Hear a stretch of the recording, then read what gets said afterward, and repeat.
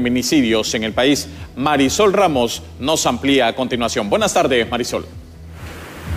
Así es, compañeros. Me acompaña Cristina Alvarado de Visitación Padilla para hablar acerca de este preocupante incremento en el número de muertes y de violencia contra la mujer.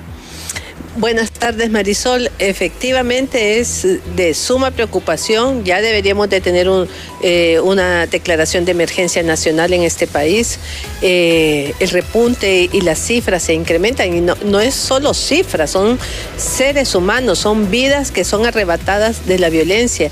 Y mm, el observatorio señalaba a finales de octubre 317, sin embargo, en los últimos días han ocurrido hasta tres eh, muertes violentas de mujeres y femicidios en 12 horas. Creo que nos estamos aproximando a los 330. Y mm, yo me pregunto, ¿dónde está la respuesta institucional? ¿Qué se está haciendo para prevenir estas situaciones de violencia, para castigar a los asesinos de mujeres cuando el 95% queda en la total impunidad?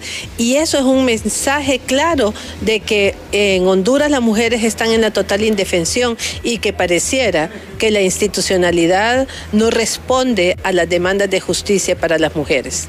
La mayoría de mujeres que están siendo víctimas eh, de crímenes están siendo en qué rango de edades?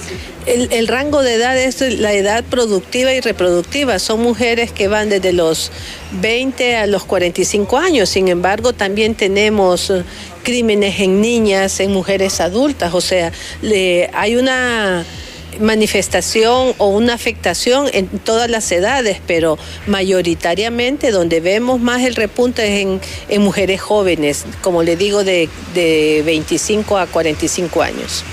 Esto me decía por parte de sus, eh, de sus propias eh, parejas. El Observatorio de la Violencia señala que más del 65% de estos crímenes eh, están en manos de personas que tuvieron vínculos sentimentales. Y esto es eh, importante porque muchas veces este, los últimos eh, femicidios que hemos, eh, que hemos conocido a través de los medios de comunicación, eh, se, se, manifiesta que ahí es la pareja. Y lo otro que también pueden utilizar el sicariato para hacerle daño a las mujeres. Y esto indistintamente, no no respeta clase social, color de piel y son mujeres abogadas, doctoras, mujeres amas de casa, o sea, indistintamente esta situación de violencia y esa expresión extrema que es el femicidio impacta a esta sociedad y lamentablemente no tenemos la respuesta adecuada para prevenir estos hechos y luego castigarlos. Muchas gracias. Como ya escuchamos, son realmente alarmantes las cifras de violencia contra la mujer. Con esta información, yo vuelvo a estudios.